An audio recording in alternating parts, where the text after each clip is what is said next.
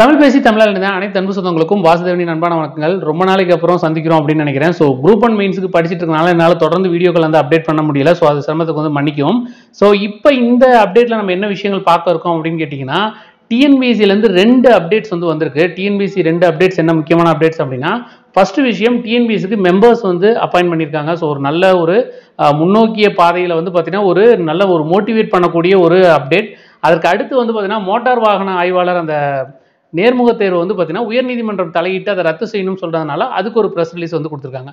So first வந்து பார்த்தீங்கன்னா நம்ம இந்த உறுப்பினர் நியமனத்தை பற்றி பார்த்துருவோம். ஏன்னா நல்ல நியூஸை முதல்ல கேட்போம். ஸோ குட் நியூஸ் அப்படிங்கிறது என்னன்னு கேட்டிங்கன்னா ஆர்டிகல் முந்நூற்றி பதினாறு ஒன்றின் படி அதாவது முந்நூற்றி பதினாறு அதன் உட்பிரிவு ஒன்றின் படி வந்து பார்த்தீங்கன்னா ஆளுநர் அவர்கள் வந்து பார்த்தீங்கன்னா ஒரு நான்கு மெம்பர்ஸை வந்து பார்த்தா அப்பாயின் பண்ணியிருக்காங்க.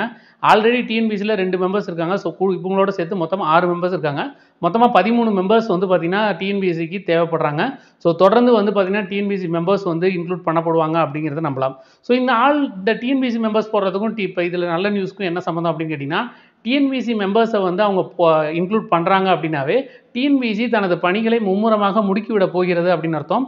தொடர்ந்து வந்து பார்த்திங்கன்னா பல நல்ல விஷயங்கள் தொடர்ந்து வந்து பார்த்திங்கன்னா அவங்க செக்ரட்டரி போட்டது அப்புறம் எக்ஸாம் கண்ட்ரோலர் போட்டது அதுக்கப்புறம் இப்போ மெம்பர் போட்டது இது எல்லாமே என்னென்னு கேட்டிங்கன்னா ஒரு ஒர்க் இருக்குது ஒர்க்கு பண்ண போகிறோம் அப்படிங்கிறதுக்காக தான் தகுதி வாய்ந்த நபர்களை வந்து அந்த இடத்துல போடுறாங்க. கண்டிப்பாக வந்து பார்த்திங்கன்னா ஒரு ஐஏஎஸ் ஆஃபீஸரை கொண்டு போயிட்டு அப்பாயின்ட் பண்ணிட்டு வந்து பார்த்திங்கன்னா எந்த வேலையும் செய்யாமல் சும்மா உட்கார வச்சுருக்க மாட்டாங்க. ஓகேங்களா ஸோ கண்டிப்பாக வந்து பார்த்திங்கன்னா நோட்டிஃபிகேஷன் வெகு விரைவில் வந்து வர இருக்குது ஸோ தொடர்ந்து வந்து படிச்சுட்டு இருக்கவங்க மும்முரமாக படிங்க ரிவைஸ் பண்ணுங்கள் திருப்பி திருப்பி படிங்க எழுதி பாருங்கள் மெயின்ஸும் கூடிய விரைவில் வந்து பார்த்திங்கன்னா ஆகஸ்ட்டு கடைசி வாரத்திலோ இல்லை செப்டம்பர் முதல் வாரத்திலோ வந்து வரதுக்கு வாய்ப்புகள் இருக்குது ஓகேங்களா?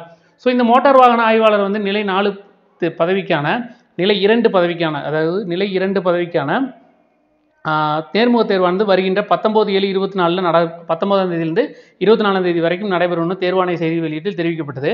இச்சூழலில் வந்து மேன்மதங்கி சென்னை உயர்நீதிமன்றம் வந்து ஒரு கோர்ட் அதாவது க பெட்டிஷன் நம்பர் கொடுத்துருக்காங்க. ஸோ ஆயிரத்தி பதினோராயிரத்தி அறுநூற்றி ஐம்பத்தாறு எட்ஸெட்ரா அந்த டேட்டை கொடுத்துட்டு ஸோ மோட்டார் வாகன ஆய்வாளர் நிலை இரண்டு பதவிக்கான அந்த பத்தொம்போதுலேருந்து இருபத்தி நாலாம் தேதி வரைக்கும் நடை நடைபெறுவதாக சொல்லியிருந்த வந்து நேர்முக தேர்வு கால வரையின்றி அதாவது தேர்வு தேதி குறிப்பிடாமல் வந்து பார்த்திங்கன்னா ஒத்தி வச்சுட்டாங்க. ஸோ அடுத்து வந்து எந்த இப்போ இதுக்கான அறிவிப்பு வந்து பார்த்திங்கன்னா ஃபியூச்சரில் தான் வந்து அனௌன்ஸ் பண்ணுவாங்க.